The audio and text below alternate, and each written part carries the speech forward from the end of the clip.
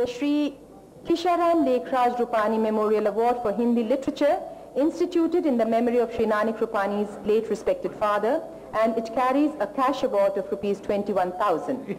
this year, this award goes posthumously to the late Sri Ganesh Mantri for his outstanding work in Hindi literature. And I shall request the Honorable Minister of State for School Education and Cultural Affairs, Government of Maharashtra, Sri Anil Deshmukh to kindly present this award to the wife of the deceased award winner, Srimati Dr. Usha Mantri.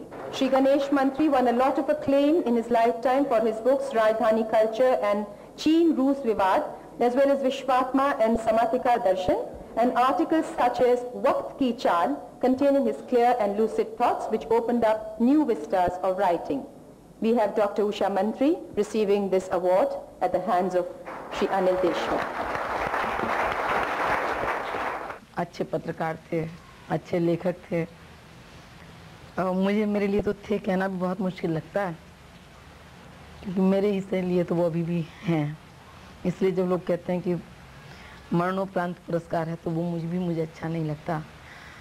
ये ज़रूर है कि उनकी अपनी लेखन शैली थी, उनका अपना लिखने का ढंग था, उनका अपना सोचने का ढंग था, और अपने ढंग से ही वो काम करते थे, अपने विचारों में बहुत दृढ़ थे।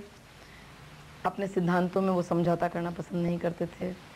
जो बात कहनी होती थी, बहुत निर्भीकता से, लेकिन बहुत विनम्रता से कहते थे, ये उनकी सबसे बड़ी विशेषता थी।